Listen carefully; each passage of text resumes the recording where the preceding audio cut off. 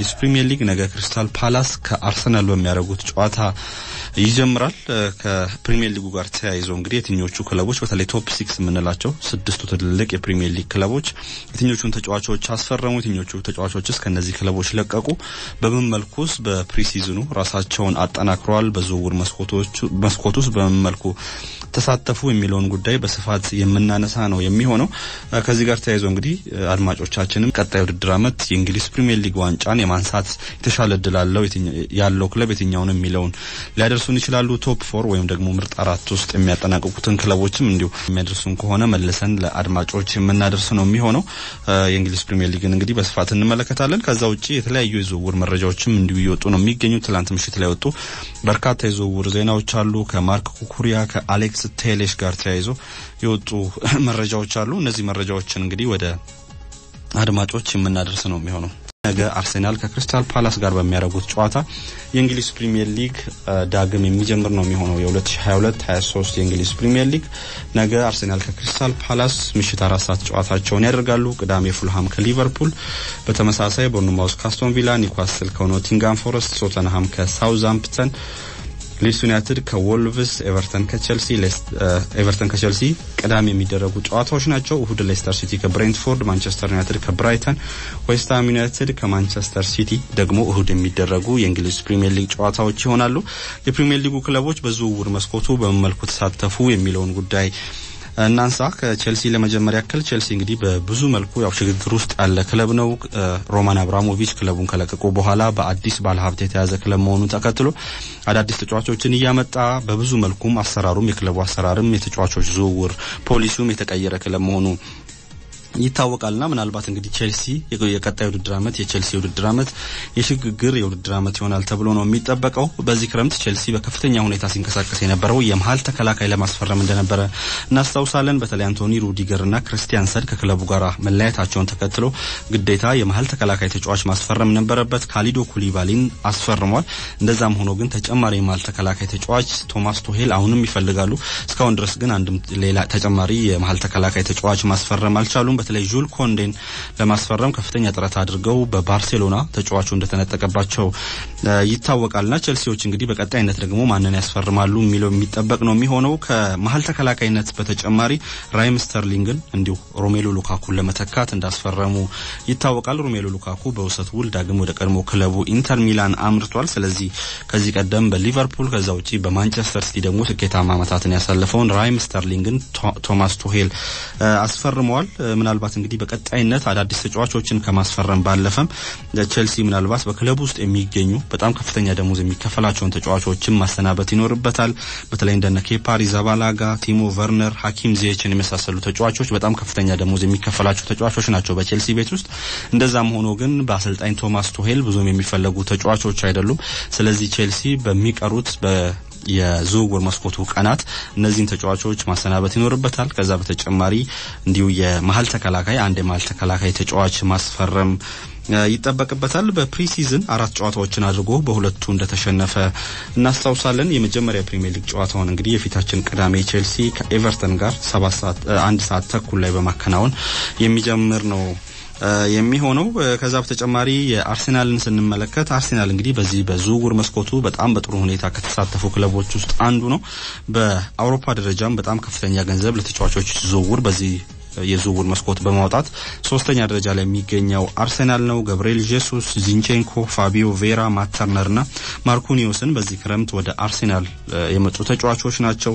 ያለፈው ዓመት ላይ እንግዲህ የአርሴናል ትልቁ ችግር የነበረው የአጥቂ መስመር ተጫዋች ችግር እንደነበረ እናስታውሳለን። በተለይ ፒየር ኤምሪክ ኦባሚያንግ ከሚኬል አርቴታ ጋር ጥሩ ግንኙነት የሌለው መሆኑን ተከትሎ የጥር ዝውውር መስኮት ላይ ከአርሴናል ጋር ተለያይቶ ወደ ባርሴሎና እንዳመራ እናስታውሳለን። ይህንም ተከትሎ ከፍተኛ የሆነ የአጥቂ መስመር ችግር እንደነበረበት እናስታውሳለን። አርሰናል በውድድር አመቱ ባለፈው የውድድር አመት መጨረሻ ላይ ግን ኤዲ ንኬቲያ በጣም ጥሩ ብቃት ማሳየት ችሏል። ይህንን ተከትሎ ክለቡ እንግዲህ ተጨማሪ አመታት በክለቡ የሚያቆየውን ኮንትራት ሰጥቶታል። 14 ቁጥር መለያን ከዚህ ቀደም በቲየሪ ዳንኤል ሄንሪ ሲለበስ የነበረውን 14 ቁጥር መለያን እንዲሁ ለተጫዋቹ እንደሰጡት ይታወቃል። በዘንድሮ የውድድር አመት ላይም እንግዲህ ከአርሰናል ወሳኝ ተጫዋቾች ውስጥ አንዱ ይሆናል ተብሎ ነው የሚጠበቀው። ገብርኤል ጄሱስም በ preseason ጨዋታዎች ላይ በርካታ ጎሎችን እያስቆጠረ ሀትሪክ መስራትም እንዲሁ እንደቻለ እናስታውሳለን እና እነዚህ ሁለት ተጫዋቾች ምናልባት ምናልባት ባለፈው የውድድር ዓመት ላይ በአርሰናል ቤት ውስጥ የነበረውን የአጥቂ መስመር ችግር በቀጣይ ውድድር ዓመት ይቀርፋሉ ተብሎ ነው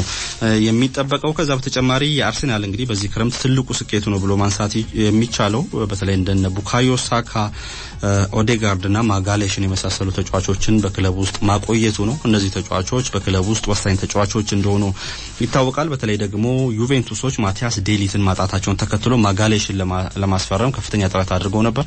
አርሴናሎች ግን ይህን ተጫዋች ማስቀረት ችሏል እና እነዚህን ተጫዋቾች በክለቡ ውስጥ ማቆየታቸውም በጣም ጥሩ ስኬት ነው ብሎ ማንሳት ይቻላል።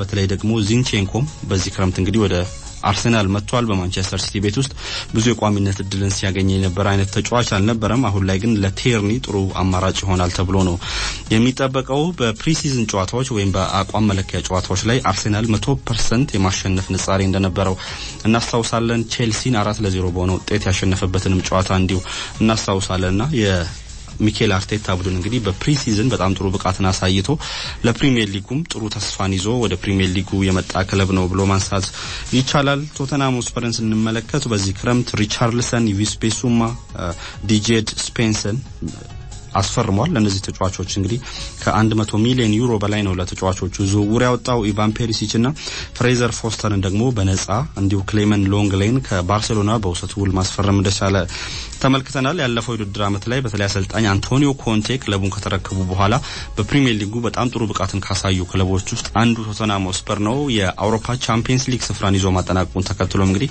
ለአሰልጣኝ አንቶኒዮ ኮንቴ ከፍተኛ ገንዘብ ተመድቦላቸው በጣም በርካታ ተጫዋቾችን በዚህ ክረምት ማስፈረም ችለዋል። በውሰት ያመጧቸው ተጫዋቾች አሉ። በነጻ የሚያገኟቸው እንደነ ኢቫን ፔሪሲችን የመሳሰሉ ተጫዋቾች በጥሩ ሁኔታ ክለቡን ይጠቅሙታል ብሎ ነው የሚጠበቀው። ባለፈው የውድድር ዓመት ላይ እንደነ ሰንሁንግሚንና ሀሪኬንን የመሳሰሉ ተጫዋቾች ለክለቡ ወሳኝ መሆናቸውን ሲያስመለክቱን ነበረ። ክርስቲያን ሮሜሮ በመሀል ተከላካይ ስፍራ ላይ እንዲሁ በጣም ጥሩ ብቃትን ያሳየ ተጫዋች ነው። እነዚህ ተጫዋቾች እንዲሁ በቀጣይ ውድድር ዓመትም እንግዲህ ለቶተንሃም ሆትስፐር ስኬታማነት ትልቅ ሚና ይጫወታሉ ተብሎ ይጠበቃል። ከዚህ ቀደም በነበራቸው የነበራቸውን stat ስንመለከት አንቶኒዮ ኮንቴ እንግዲህ በቸልሲ ቤት በመጀመሪያ ውድድር ዓመት ላይ አልተሳካላቸውም። በቀጣይ ውድድር ዓመት ላይ ግን የእንግሊዝ ፕሪሚየር ሊግ ዋንጫን አንስተዋል። ወደ ኢንተር ሚላን ካመሩ በኋላም በኢንተርም በተመሳሳይ በሁለተኛ ውድድር ዓመት ላይ የሴሪያ ዋንጫን ማንሳት የቻሉ አሰልጣኝ ናቸው። በተለይ ደግሞ ጊዜ የሚሰጣቸው ከሆነ ቡድን በቶሎ የመገንባት ብቃት ካላቸው አሰልጣኞች ውስጥ አንዱ አንቶኒዮ ኮንቴ ናቸው። በቀጣይ ውድድር ዓመትም እንግዲህ ምናልባት ጠንካራ የሚባል ቶተንሃም ሆትስፐርን በፕሪሚየር ሊጉ ልንመለከት እንችላለን። ማንቸስተር ዩናይትድን ስንመለከት ማንቸስተር ዩናይትድ እንግዲህ በዝውውር መስኮቱ በተለይ ደግሞ አዲስ አሰልጣኝ አሰልጣኝ ኤሪክ ቴናግን ማስፈረሙን ወይም መቅጠሩን ተከትሎ በጣም በርካታ ተጫዋቾችን በዝውውር መስኮቱ ያስፈርማል ተብሎ ሲጠበቅ ነበር። እንደዛም ሆኖ ግን በሚጠበቀው ደረጃ በዝውውር መስኮቱ ካልተሳተፉ ክለቦች ውስጥ አንዱ ማንቸስተር ዩናይትድ ነው። ክርስቲያን ኤሪክሰን፣ ታይለር ማላሺያ እና ሊሳንድሮ ማርቲኔዝ ናቸው እንግዲህ አዲስ ፈራሚዎቹ። ክርስቲያን ኤሪክሰን በነጻ ዝውውር ነው የመጣው። ታይለር ማላሺያ 13 ሚሊዮን ፓውንድ ብቻ የወጣበት ብዙም በትልቅ ደረጃ ወይም በትልቅ ክለብ ያልተጫወተ ተጫዋች ነው። ምናልባት በአያክስ የተጫወተው ሊሳንድሮ ማርቲኔዝ ነው እንግዲህ በዚህ ክረምት የማንቸስተር ዩናይትድ ትልቁ ፈራሚ ነው ብሎ ማንሳት የሚቻለው። በጣም በርካታ ተጫዋቾችን ማንቸስተር ዩናይትድ የማስፈረም ፍላጎት አለው።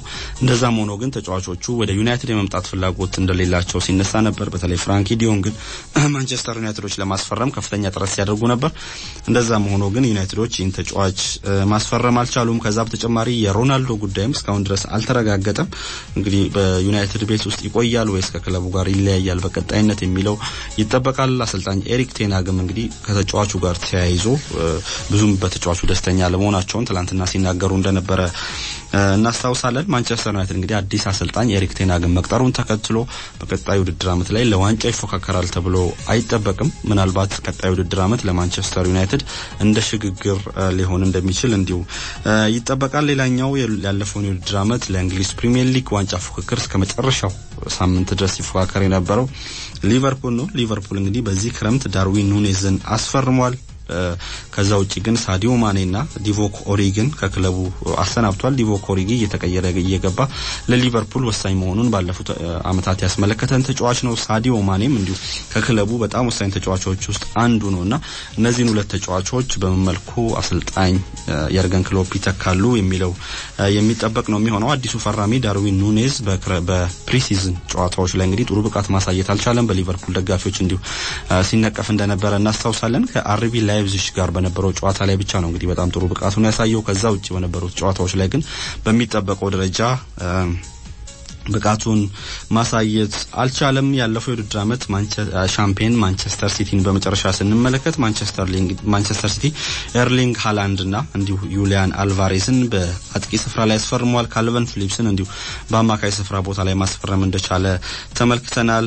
ሃላንድ በኮሚኒቲ ሺልድ ጨዋታ ከሊቨርፑል ጋር በነበረው ጨዋታ ላይ ጥሩ ብቃቱን እንዳላሳየ ተመልክተናል። በቀጣይ ጨዋታዎች ላይ ግን ምን አይነት ብቃት ያሳያል የሚለው እንዲሁ የሚጠበቅ ነው የሚሆነው። የሌላኛው የማንቸስተር ሲቲ ክፍተት እንግዲህ የግራ መስመር ተከላካይ ቦታ ላይ ነው። የግራ መስመር ተከላካይ ቦታ ላይ ጆዋ ካንሴሎ ባለፈው የውድድር ዓመት ላይ ጥሩ ብቃት ማሳየት ችሏል። እንደዛም ሆኖ ግን ያለፈውን የውድድር ዓመት የሱ ተጠባባቂ ሆኖ ሲጫወት የነበረው ዚንቼንኮ አሁን ወደ አርሴናል አምርቷልና ምናልባት ጆዋኦ ካንሴሎ የሚጎዳ ከሆነ ማንቸስተር ሲቲዎች ይህን ተጫዋች በምን መልኩ ይተኩታል የሚለው እንዲሁ የሚጠበቅ ነው የሚሆነው። እንግዲህ የእንግሊዝ ፕሪሚየር ሊግ ነገ ክሪስታል ፓላስ ከአርሴናል ጋር በሚያደርጉት ጨዋታ የሚጀምር ነው የሚሆነው። ከፕሪሚየር ሊጉ ጋር ተያይዞ ያነሳናቸው መረጃዎች እነዚህን ይመስላሉ። ሌሎች የዝውውር መረጃዎችን ስንመለከት ማርክ ኩኩሪያ ዛሬ ለንደን እንደሚደርስ እየተነገረ ነው የሚገኘው። ተጫዋቹ እንግዲህ በቼልሲ የጤና ምርመራ ያከናውናል ተብሎ ይጠበቃል። ዛሬ እስከ 2028 ድረስም በክለቡ ወይም በቼልሲ የሚያቆየውን ኮንትራት ይፈርማል። 52 ሚሊዮን ፓውንድ ደግሞ ለተጫዋቹ ዝውውር ቼልሲዎች ለብራይተን የሚከፍሉ ነው የሚሆነው። ኩኩሪያ እንግዲህ ወደ ሲቲ የመሄድ ፍላጎት እንደነበረው እናስታውሳለን። በተለይ ተጫዋቹ ከባርሴሎናው የታዳጊ ቡድን ከላማሲያ የተገኘ መሆኑ ይታወቃል። ከዛ ውጪ ከፔፕ ጓርዲዮላ ጋርም ጥሩ ግንኙነት አለው። ስለዚህ ከፔፕ ጓርዲዮላ በፔፕ ጓርዲዮላ ስር የመሰልጠን ፍላጎት ነበረው። ማንቸስተር ሲቲዎችም ተጫዋቹን ለማስፈረም ጥረት አድርገው እንደነበር እናስታውሳለን። እስከ 35 ሚሊዮን ፓውንድ ድረስ ለተጫዋቹ ዝውውር አቅርበው ነበር።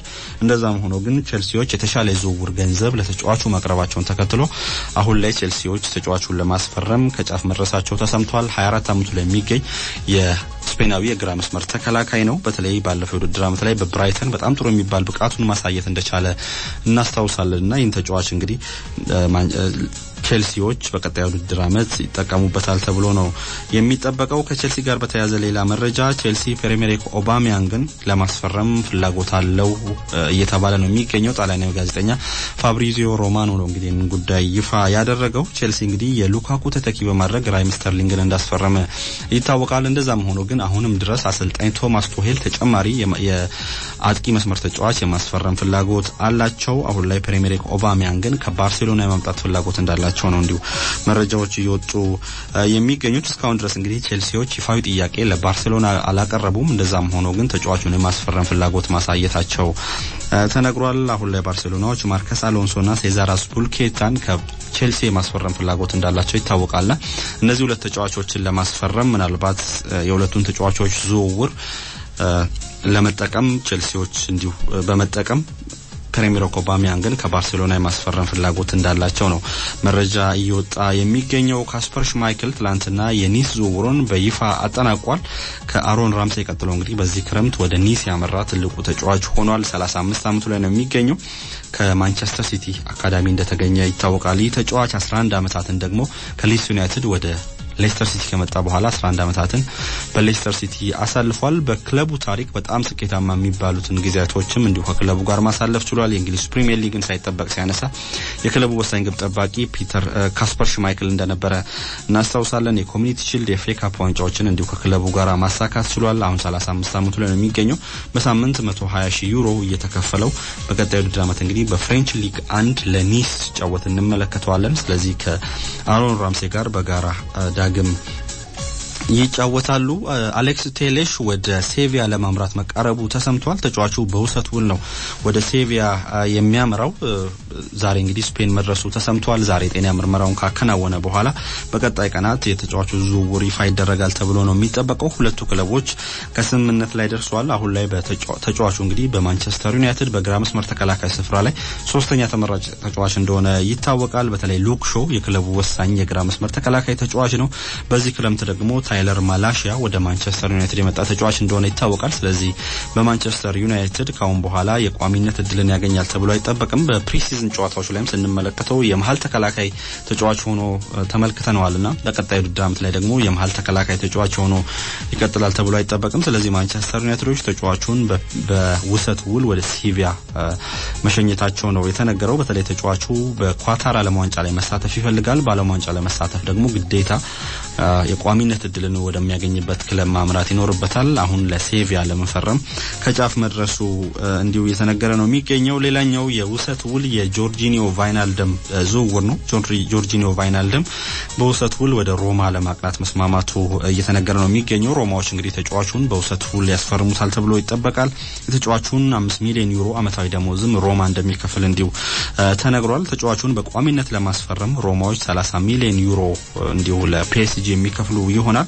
ምናልባት እንግዲህ ተጫዋቹ በዘንድሮ የውድድር ዓመት ላይ በሚጀምረው የውድድር ዓመት ላይ ጥሩ ብቃቱን በሮማ የሚያሳይ ከሆነና አሰልጣኝ ጆዜ ሞሪኒዮን በተጫዋቹ ደስተኛ የሚሆኑ ከሆነ ተጫዋቹን እስከ 30 ሚሊዮን ዩሮ ድረስ በመክፈል ሮማዎች በቋሚነት ያስፈርሙታል ተብሎ ይጠበቃል። ፒኤስጂ እንግዲህ ኢድሪሳ ጋና ጉዬንም ለኤቨርተን አሳልፎ እንደሰጠ ይታወቃል። ቫይናልደም እንግዲህ ሊቨርፑል ጋር ውሉ መጠናቀቁን ተከትሎ በነጻ ዝውውር ወደ ፒኤስጂ ካቀና በኋላ በፒኤስጂ ቤት የቋሚነት እድልን ማግኘት አልቻለም። በክለቡ ውስጥም ጥሩ ብቃት ማሳየት እንዳልቻለ ይታወቃል። 31 ዓመቱ ላይ ነው የሚገኘው።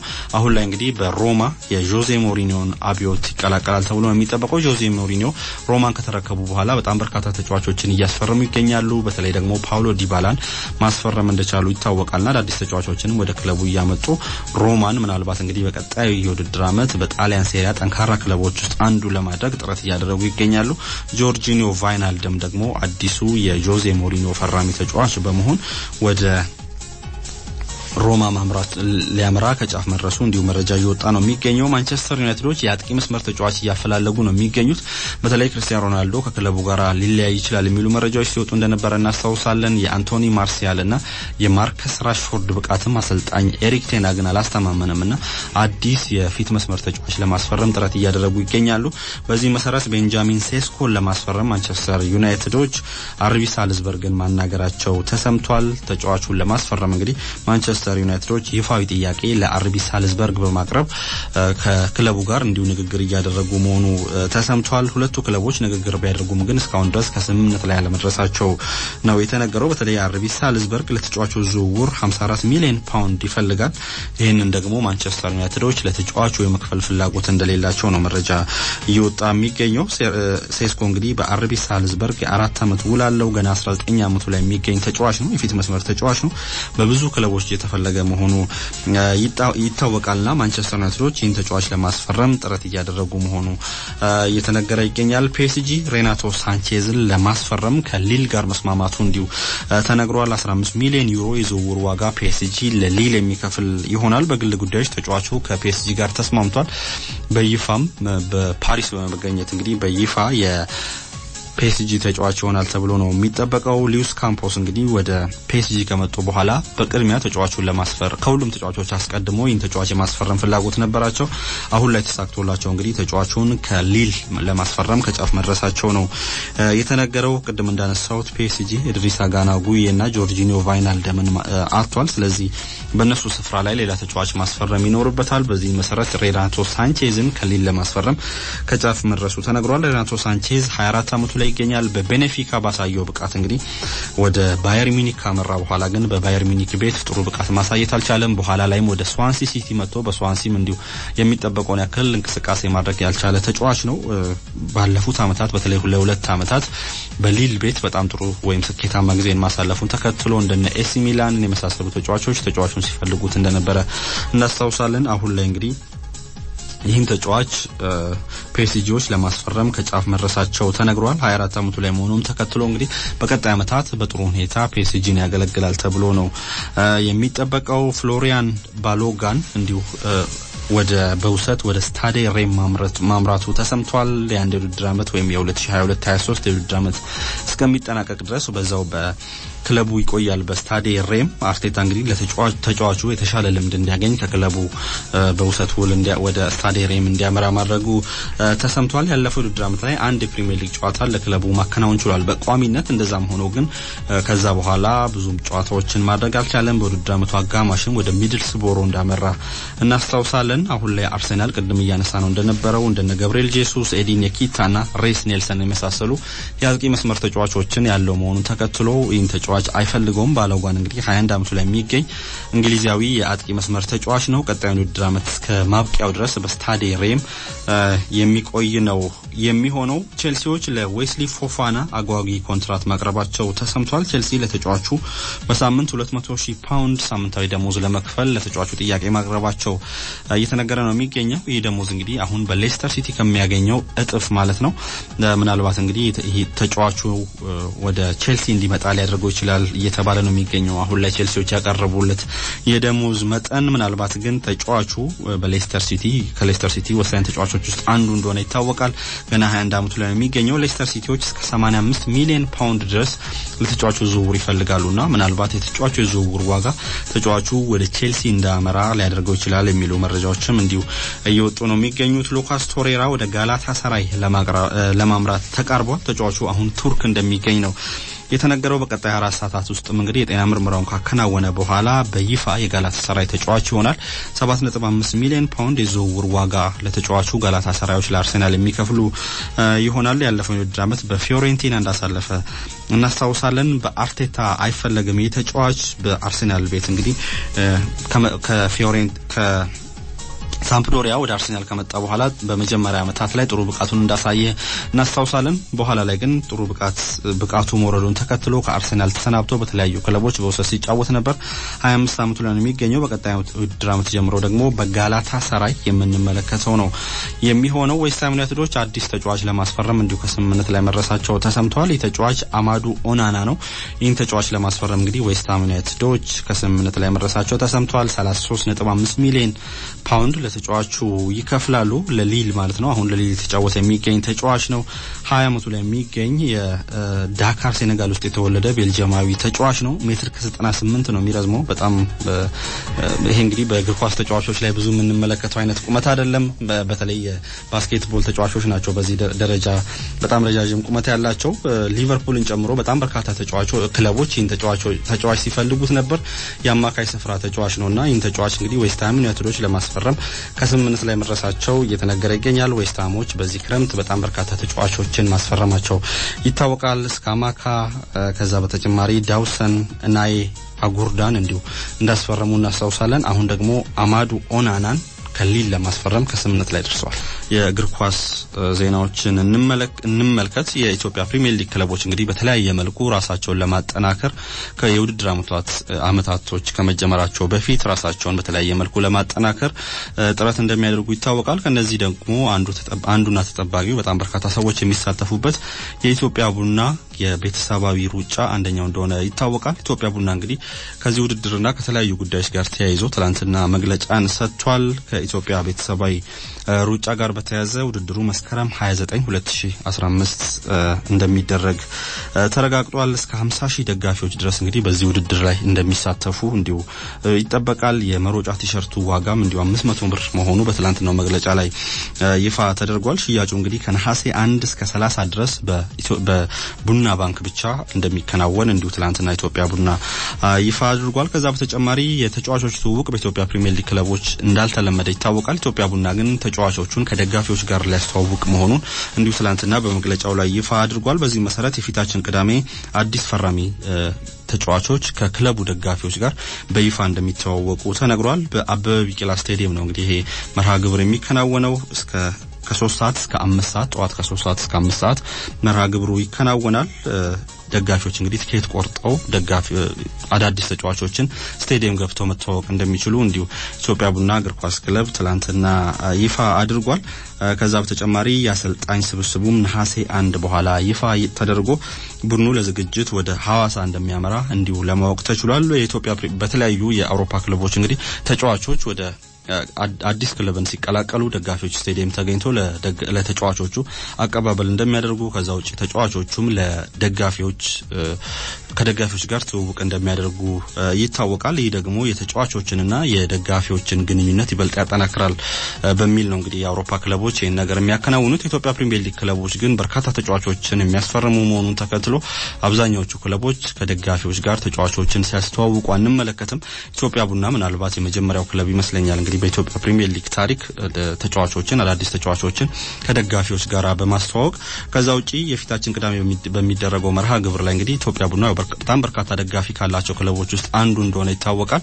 ደጋፊዎቹ አበበ ቢቂላ ስቴዲየም ተገኝተው ተጫዋቾችን በሚታወቁበት ወቅት ትኬት ቆርጦ ነው የሚገቡት። ይህም ደግሞ ለክለቡ ተጨማሪ ገቢ ይሆናል ተብሎ ነው የሚጠበቀው። ከዚሁ ከክለቦች ጋር ክለቦች ራሳቸውን ከማጠናከር ጋር በተያያዘ ሌላኛው የምንመለከተው ጉዳይ ሐዋሳ ከተማም እንዲሁ የሩጫ መርሃ ግብር ሊያከናውን መሆኑ ተሰምቷል። ክለባችን ኩራታችን በሚል መሪ ቃል ሐዋሳ ላይ የሩጫ ውድድሩ ይከናወናል። ደጋፊዎችን የሚያካትት የሩጫ ውድድር መሆኑ ተነግሯል። ነሐሴ 28 2014 ዓ.ም ሐዋሳ ከተማ ላይ እንደሚከናወን እንዲሁ ተነግሯል። ሌሎች የገቢ ማሰባሰቢያ ዝግጅቶችም በሩጫ ውድድሩ ላይ እንደሚኖሩ እንዲሁ ተረጋግጧል። ክለቡን እንግዲህ በገቢ ለመደገፍ የታሰበ ውድድር መሆኑ እንዲሁ ተነግሯል። ከሐዋሳ ከተማ ጋር በተያያዘ ሌላ መረጃ ሶስት ተጫዋቾቹን የሶስት ተጫዋቾቹን ውል ማደሱን እንዲሁ ሐዋሳ ከተማ ይፋ አድርጓል። ቸርነት አውሽ የሁለት ዓመት ውል ፈርሟል። ዳዊት ታደሰ እንዲሁ የሁለት ዓመት ውል፣ ሀብታሙ መኮንን በተመሳሳይ የሁለት ዓመት ውል በክለቡ መፈረማቸው ተረጋግጧል። እነዚህ ተጫዋቾች ያለፉትን ዓመታት በዋናው ቡድን ሲጫወቱ የነበሩ ተጫዋቾች ናቸው። ሶስቱም ተጫዋቾች እንግዲህ ከታዳጊው የሐዋሳ ከተማ ቡድን የተገኙ ተጫዋቾች ናቸው። በፕሪሚየር ሊጉ ከሚገኙ ክለቦች ውስጥ በጣም በርካታ ተጫዋቾችን ከወጣት ቡድኑ ወይም ከታዳጊ ቡድን ወደ ዋናው ቡድን በማሳደግ በአግባቡ ከሚጠቀሙ ክለቦች ውስጥ አንዱ ሐዋሳ ከተማ መሆኑ ይታወቃል። እነዚህ ሶስት ተጫዋቾች ከታዳጊ ቡድኑ ወደ ዋናው ቡድን ያደጉ ተጫዋቾች ናቸው። እነዚህ ተጫዋቾች እንግዲህ አሁን በሐዋሳ ከተማ ለተጨማሪ ሁለት ዓመታት በክለቡ ውስጥ የሚያቆያቸውን ውል ማደሳቸው ተረጋግጧል።